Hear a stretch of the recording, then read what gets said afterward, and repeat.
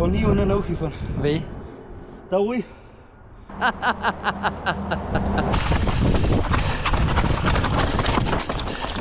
Leute, Hallöchen zum nächsten Video. Wie gesagt, nehme ich euch jetzt überall so ein bisschen mit. Kannst schon ruhig zufahren. Vorweg weiter. überall ein bisschen mit. Ähm, und dann auch bei solchen Sachen. Ich bin mit dem, der gerade im Bild war, äh, auf dem Weg zu einem Außeneinsatz. das ist mein Vater. Äh, meine Eltern sind gerade auf der Insel zum Urlaub machen ein paar Tage. Und jetzt habe ich gesagt, wer Urlaub machen kann, kann er seinem Sohn kurz helfen, äh, seine Downhill-Strecken ein bisschen auszuschneiden. Deshalb, jetzt sind wir auf dem Weg zu der Strecke, die direkt wirklich nah hier äh, bei der Wohnung ist, die ich demnächst öfter fahren will und auch ein bisschen auf Zeit fahren will. Deshalb will ich die gescheit ausasten, dass die gut fahrbar ist. Äh, das machen wir jetzt. Vater dabei. ähm, genau. Jetzt ist mittags. Ich habe heute früh mein, mein Fitnesstraining ein bisschen gemacht.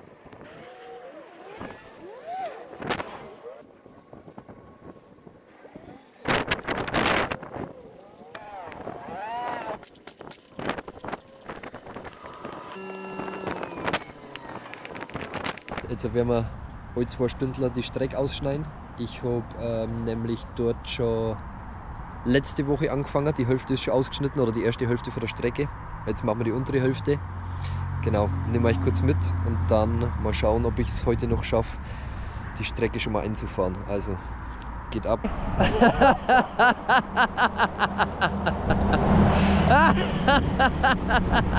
Das schaffst schon. Einfach Gas, Gas, Gas, Gas. Ja, Gas. Also genau deshalb kommen wir hierher, weil alles mit so Dornengeschichten zugewachsen ist. So, jetzt wird es glaube ich, jetzt wird es zu steil. da stellen wir es an und gehen hoch.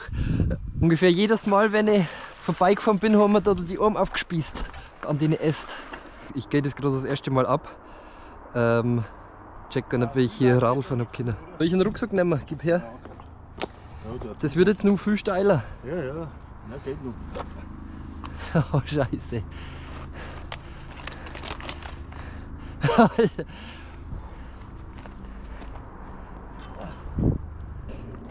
Hey, ist nicht, da kann man nicht durchfahren. Also Leute, jetzt mal ohne Witz. Ich gehe die Strecke jetzt auch das erste Mal ab. Das ist... Also zum Stürzen ist es des Todes. Das Zeug ist alles so scharfkantig, felsig, verblockt. Kann ich ohne nachfahren. Weh. Da ruhig. Doch, die Linie ist, du kommst da runter, fährst hier und genau dort, wo dein Hand ist, machst dann einen Bogen. Das ist aber jetzt auch das Steilste. Was? Also wenn du das hast, steiler wird es nicht mehr. Ich weiß gar nicht, für was ich mein, mein Hackerl dabei habe. Alter. Einfach bloß ein bisschen. Geht. Ist wieder auch so, das Ding.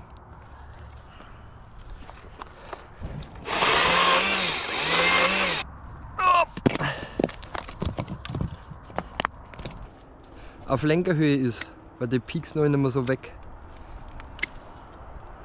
Die grünen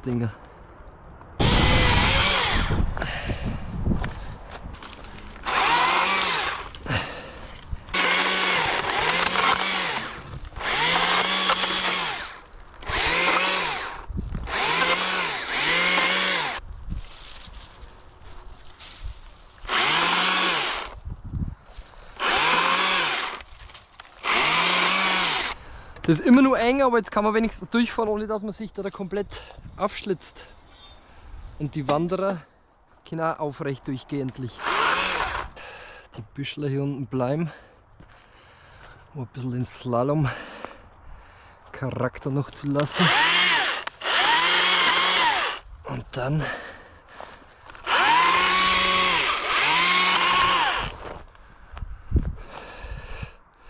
sind wir durch. Hey, kannst du ein bisschen schneller arbeiten, bitte? Ein bisschen schneller arbeiten.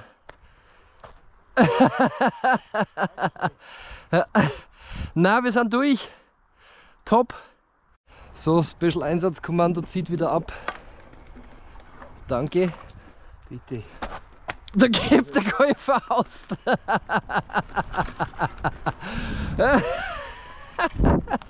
Also Leute, ich habe es gestern nicht mehr geschafft, die Strecke direkt einzufahren.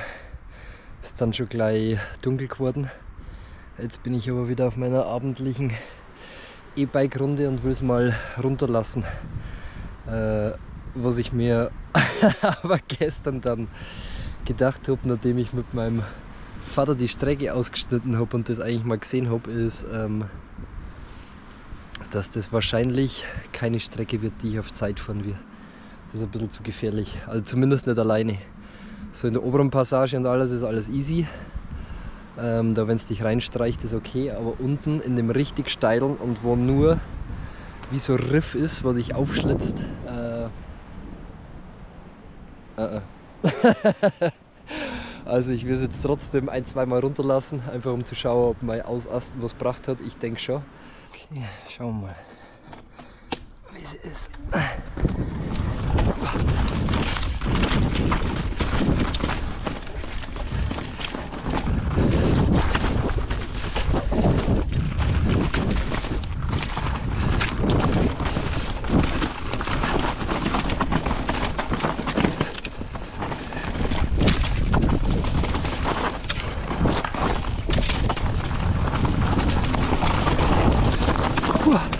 es ist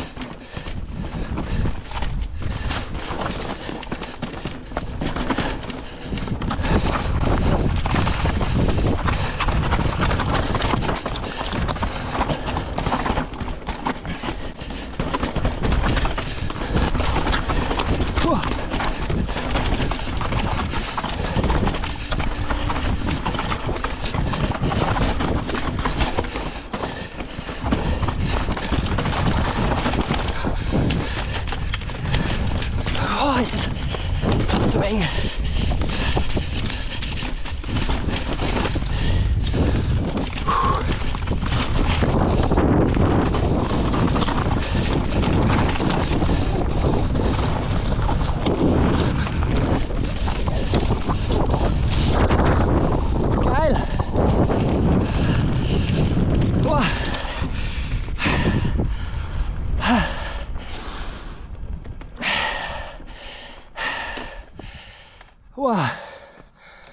Also,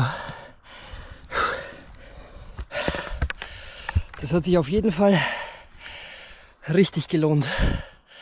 Wer das erste Video gesehen hat, wo ich die Strecke schon mal runtergefahren bin, gegenüber Elzer, wow, was für Unterschied. Immer noch natürlich komplett eng, aber das ist eigentlich cool. Also ich, deshalb mag ich die Strecke eigentlich, weil man wieder lernt, so richtig präzise, schnell zu handeln. Und gut ist auch, dass die Strecke bloß 800 Meter Luftlinie oder einen Kilometer vor der Wohnung weg ist. Und kurze Arbeitswege steigern halt die Effizienz. Ah, so, Video vorbei. Ich fahre das auf jeden Fall jetzt noch ein paar Mal. Oh, echt schwierig. Also das ist wirklich so eine Strecke, wo man glaube ich, wenn man es oft fährt, weil ich habe jetzt äh, wirklich ein bisschen Schiss, wenn man die Strecke oft fährt und natürlich schafft, oder nicht irgendwie zu stürzen, dann stumpft man, äh, stumpft man glaube ich, gut ab im Kopf. Das ist gut. Weil das habe ich mir schon öfter mal, ich habe mir öfter gedacht, weil ich noch Downhill gefahren bin, wie wird es wohl sein, wenn du jetzt an so einer Strecke, wie beispielsweise Val di Sole wohnst, wo für mich einfach wirklich die schwierigste, steilste, technischste Strecke der Welt ist. Stell dir vor, du wohnst dort und fährst dort einfach drei, vier Mal pro Woche dein Training. Dann kommst du, glaube ich, auf egal welche Strecke der Welt und das ist einfach Klacks. Deshalb äh, ist das ganz gut, so eine Strecke jetzt wie hier, wo echt steil ist und so ein bisschen angsteinflößend ist, direkt beim Haus zu haben und immer fahren zu können. Und das ist bloß eine Strecke. Also, so das ist ein bisschen meine Intention, dass das versteht, warum ich die Strecke hergekriegt habe. also, bis zum nächsten Video.